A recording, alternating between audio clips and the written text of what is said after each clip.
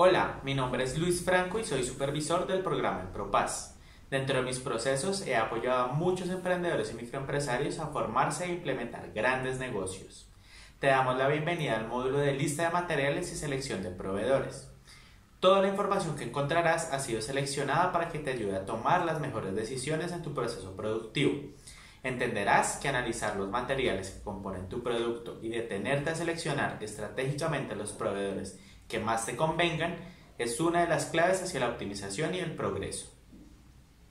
La identificación de los materiales que conforman tus productos te dará un mayor panorama sobre su proceso productivo y gracias a ello podrás estimar de manera correcta los costos de producción, información necesaria para determinar el proceso de venta. Te invitamos a que seas analítico y detallista y tengas en cuenta la discriminación de todos los materiales e insumos que utilizas en tu empresa diferenciando las materias primas de los insumos como lo aprenderás en este módulo. Los temas que veremos en este módulo son qué tipos de materiales se usan en los procesos productivos, la importancia de dominar las unidades de medida y los aspectos relevantes a la hora de elegir un proveedor.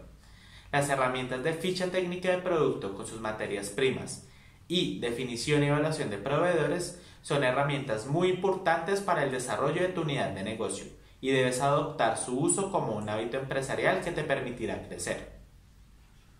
A manera de ejemplo, les quiero contar la experiencia de la señora Torcoroma Rincón, emprendedora del municipio de Ocaña con su remontadora de calzado Suez.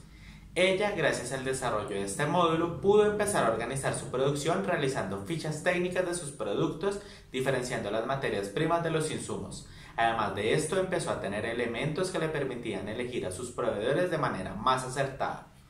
Espero que tengan muchos éxitos en el desarrollo de este módulo y estoy seguro que aplicando cada uno de los conocimientos que les brindamos acá serán de utilidad para que en sus negocios o empresas determinen los costos de producción cercanos a la realidad y obtengan la información necesaria para ofrecer precios de venta competitivos. Además, tengan una lista de materiales y puedan seleccionar sus proveedores.